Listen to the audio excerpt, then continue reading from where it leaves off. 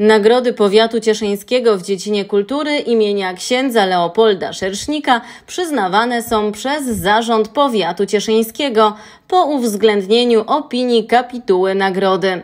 Przyznawane są w trzech kategoriach: twórczości artystycznej, upowszechniania i ochrony kultury. W ciągu 20 lat powiat cieszyński przyznał 70 nagród. Tak zwane szerszniki wręczono we wtorek 22 listopada w Muzeum Śląska Cieszyńskiego. W tym roku nagrody otrzymali w kategorii twórczości artystycznej Zbigniew Machej, znany i wielokrotnie nagradzany pisarz, tłumacz, publicysta oraz działacz kultury. Cieszyn jest nieustającym dla mnie źródłem inspiracji i nie tylko Cieszyn, ale także Śląsk Cieszyński Dlatego cieszę się, że akurat ta nagroda przypadła no, w takim dosyć nieszczęsnym momencie dla Europy i dla świata w roku 2022, ale e, nastąpiła też jakaś kulminacja w mojej że tak powiem, biografii twórczej, e, także jeżeli chodzi o jej odbiór społeczny.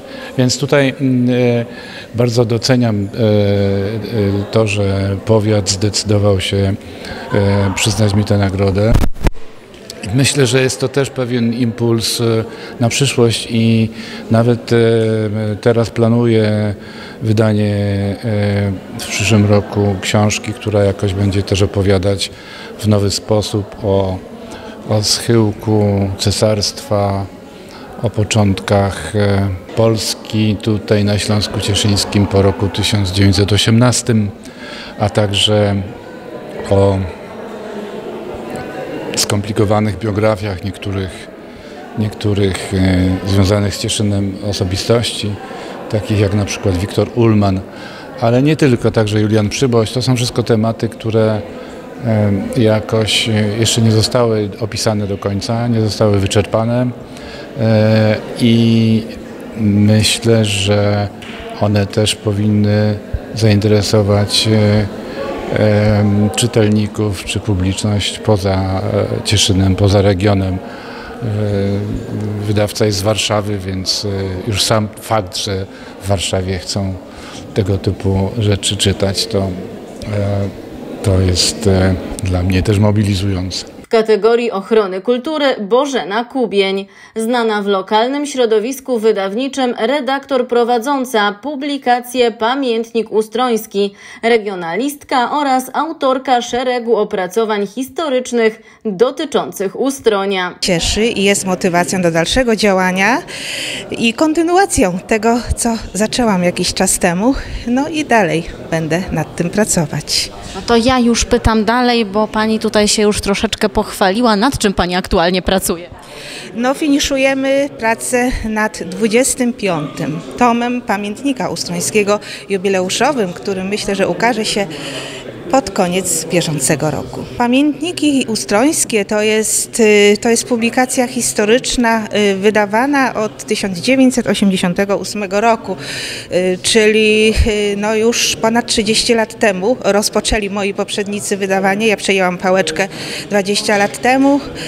No i jest to publikacja poświęcona dziedzictwu kulturowemu Ustronia, Śląska Cieszyńskiego, jak również historii, ale także dotykamy współczesności. W kategorii upowszechniania kultury został doceniony zespół folklorystyczny Nadolzianie. Zespół powstał w 1993 roku z inicjatywy Koła Gospodyń Wiejskich w Kaczycach. Skupia się wokół pieśni i pieśniczek Śląska Cieszyńskiego, pieśni okolicznościowych, biesiadnych i kościelnych. Dla nas to jest na pewno ważna, bardzo ważna nagroda. Nas, nas to w ogóle satysfakcjonuje taka nagroda, bo po prostu jesteśmy szczęśliwi z tym, że możemy tutaj być i, i, i razem przechodzić taki, taki naprawdę taką uroczystość wręczenia nagród Szersznika. Także naprawdę jesteśmy jesteśmy naprawdę szczęśliwi. Bo I to bardzo brak, dumni. Bardzo Trzeba dumni, dodać, tak, tak, tak, tak, także co tu więcej. za docenienie nas, naszej pracy, bo to jest wiele starszych osób, Młode wiadomo zawsze... Że się im cały czas chce, co? No właśnie, to jest najważniejsze. To jest po prostu pasja nas wszystkich. Nie spodziewaliśmy się tej nagrody. Możemy powiedzieć, że też dzięki naszym lokalnym władzom, którzy wspierają nas w ogóle w tej działalności, bo muszę tutaj zaznaczyć, że jest przychylność wójta naszej gminy, Andrzeja Kądziołki, pani dyrektor Małgorzaty Gus z naszego ośrodka, kultury, która nas naprawdę wspiera w tym, co robimy.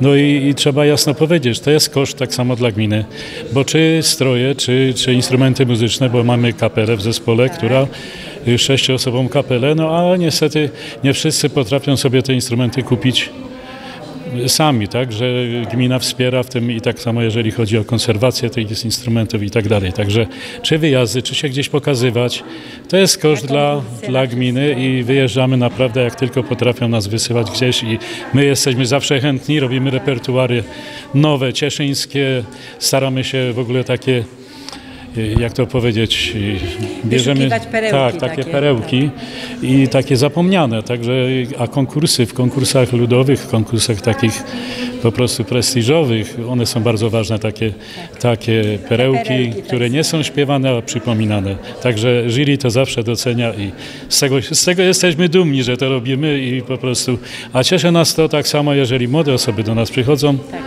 tak, co tym bardziej mobilizuje, żeby im przekazywać i one, żeby tę pałeczkę kiedyś w przyszłości przejęły za nas. Podczas gali szerszników doceniono również doktora Michała Kawuloka, który prowadzi dział sztuki w Muzeum Beskidzkim w Wiśle. Został uhonorowany złotą odznaką za opiekę nad zabytkami, przyznawaną przez ministra kultury i dziedzictwa narodowego. W naszym działaniu zawsze jest tak, że są sukcesy, są czasami porażki. Róż, różnie jest. Natomiast taka chwila jedynie uskrzydla. Dla portalu Śląska Cieszyńskiego OX.pl Marta Szymik.